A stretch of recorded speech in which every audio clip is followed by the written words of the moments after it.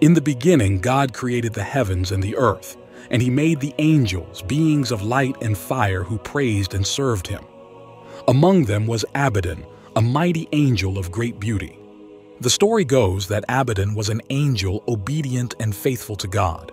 He always carried out his orders with precision and without hesitation. He was an invincible warrior capable of defeating any enemy. One day, God commanded Abaddon to release the plagues on Egypt to punish Pharaoh for his stubbornness in not letting the people of Israel go. Abaddon obeyed God's command and sent a plague of locusts that decimated the country's crops and livestock. The locusts were hideous creatures with large, scaly bodies, membranous wings, and large, sharp jaws. They moved in huge swarms, devouring everything in their path. Pharaoh, frightened by the plague, called for Moses and asked him to intercede with God to remove it. Moses agreed but warned Pharaoh that the plague would return if he did not let the people of Israel go. Pharaoh, arrogant as ever, refused to release the people of Israel. Then Abaddon sent a new plague of locusts, even more devastating than the first. The locusts devoured all that remained of the country's crops and livestock. The people of Egypt were forced to eat grass and tree bark to survive. Pharaoh, in desperation, finally agreed to release the people of Israel. Moses and the Israelites left Egypt and headed for the Promised Land. After the Israelites' deliverance from Egypt, Abaddon continued to serve God with loyalty and devotion. However, his loyalty was tested when Satan rebelled against God. Satan, a beautiful and powerful angel, had been the greatest of God's angels. However, he had become arrogant and ambitious and had decided to defy God's authority.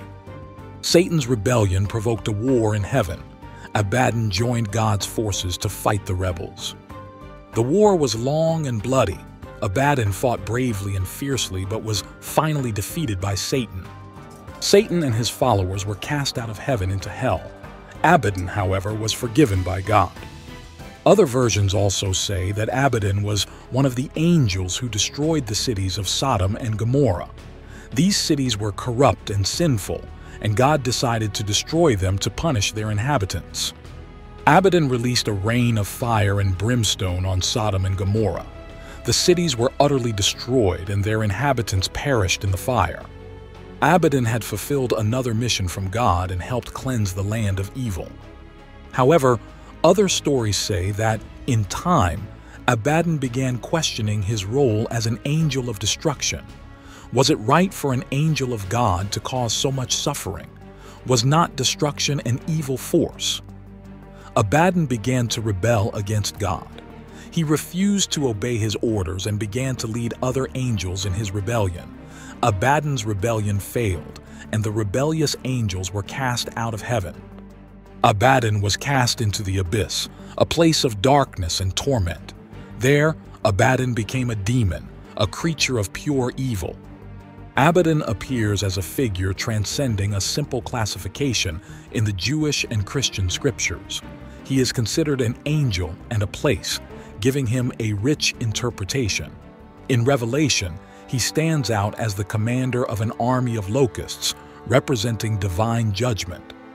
The root of the word Abaddon is believed to come from the Aramaic Abaddon, meaning father. When referring to the Greek Orthodox Church, this is the same nickname that Jesus gave himself when he wanted to make mention of God.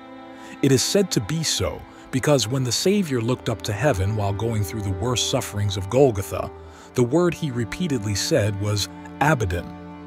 The Bible portrays him as a formidable leader at the head of creatures that combine the features of war horses, human faces, and the teeth of lions. This image places him as a powerful being and an executor of the divine will, a role reinforced by his designation as destroyer in the Latin translation.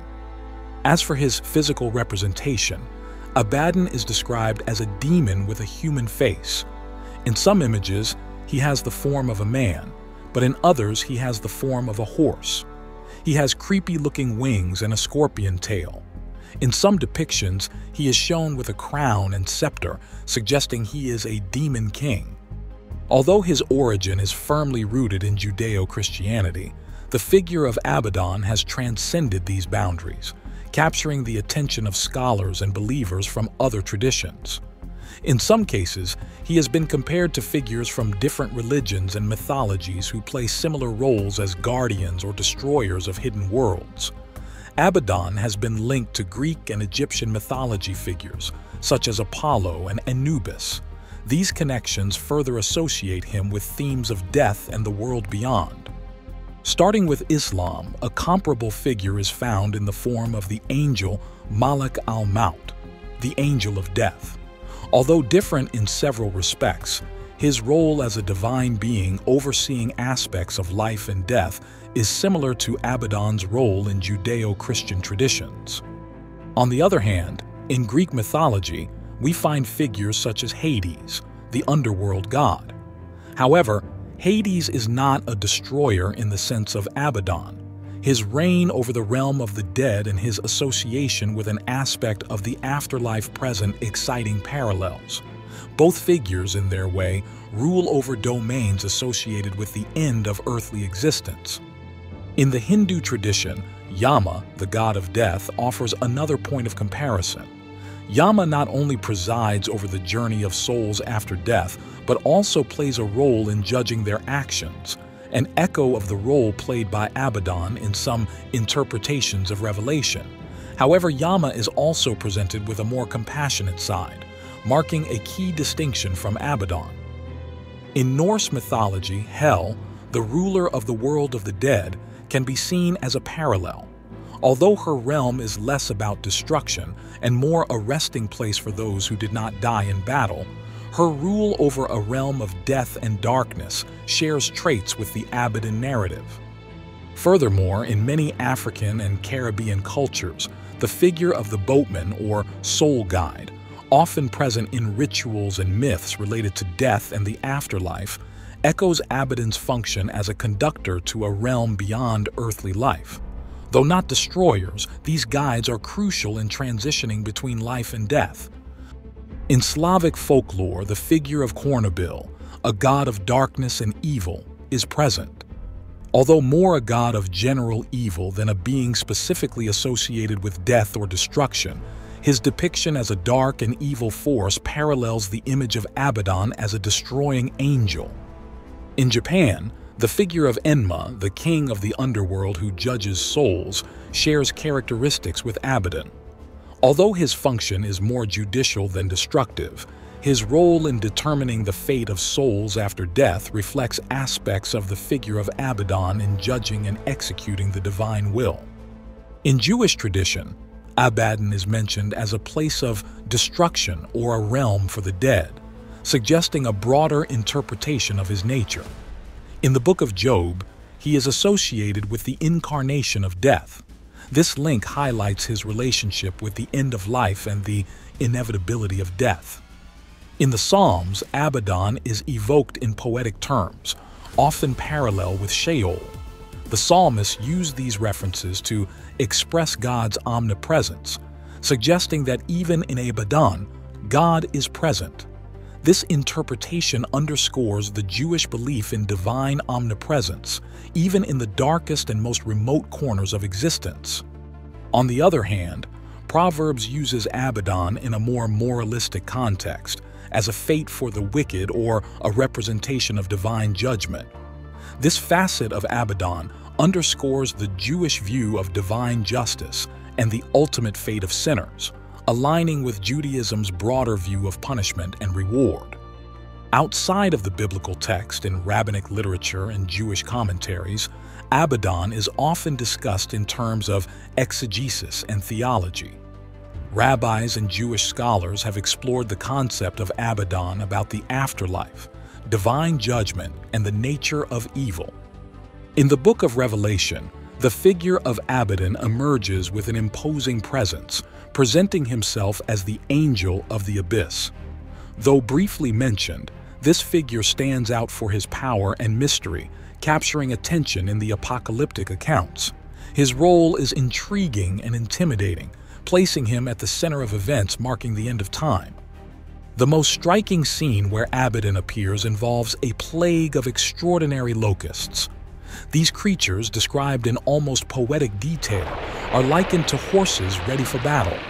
They possess crowns that look like gold, faces reminiscent of humans, long hair, sharp teeth, and protections that resemble iron armor. The sound of their wings is reminiscent of the thunder of chariots and horses in a frantic race, and their tails are like scorpion stingers, ready to inflict pain. This representation of Abaddon at the command of the locusts is rich in symbolism. Locusts, beyond being mere pests, are entities laden with deeper meanings. They represent punishment and divine intervention in a world approaching its conclusion. At the head of this force, Abaddon manifests himself not as a malicious being, but as an agent of destiny, an executor of justice that, although harsh, is part of a more significant order. In apocryphal books, Abaddon is described as a demonic entity, specifically an angel of death. This demon of the abyss punishes anyone who is part of this world by releasing all the creatures of this place. In popular culture, Abaddon is the most feared demon of hell due to his great power. He is depicted as the ultimate leader of the demons of the seventh hierarchy of the abyss. It is also mentioned that Abaddon chained Satan and kept him in chains for a thousand years. Abaddon is also said to be the leader of the Legion of Locusts, the most potent legion of all darkness. It is believed that these locusts could be released along with other demons to face the heavenly angels on Judgment Day, also known as the Apocalypse. Abaddon is often depicted as grotesque and fearsome in Christian art, especially in the literature and painting of the Middle Ages and the Renaissance. These depictions sought to convey the horror and magnitude of the final judgment, using Abaddon as a central figure in these apocalyptic scenes. Beyond his role in the apocalypse, Abaddon has been the subject of numerous theological and literary interpretations. Some Christian scholars have linked him with other biblical figures, such as the fallen angel Satan. However, this association is neither universal nor clearly defined in Scripture. Abaddon has appeared in a wide range of works in literature. He has been transformed from a mythical being to a complex character in novels and short stories. In some stories, he appears trapped in his cosmic destiny. At the same time, in others, he is shown as a formidable antagonist, bringing destruction and despair. Visual art has offered a rich exploration of Abaddon. Paintings from the Middle Ages often show him as a fearsome entity, highlighting his role in destruction. In contrast, he is usually depicted more abstractly in modern art, radiating more contemporary interpretations of his figure. In film and television, Abaddon has been an intriguing character in genres such as fantasy and horror. Adaptations vary from interpretations faithful to the biblical depiction to versions more adapted to current tastes. In music, from classical compositions to heavy metal pieces, Abaddon has inspired works that explore themes of conflict and redemption. These compositions provide an experience demonstrating the complexity of Abaddon's figure, allowing listeners to immerse themselves in his world. Abaddon is often presented as a powerful and challenging character in video games. These games provide direct interaction, allowing players to confront him or even take on his role, offering a new perspective on his character. Regardless of the interpretation adopted, the figure of Abaddon is one of the most powerful and enigmatic in the Bible. It is a figure that has inspired fear and terror throughout the centuries.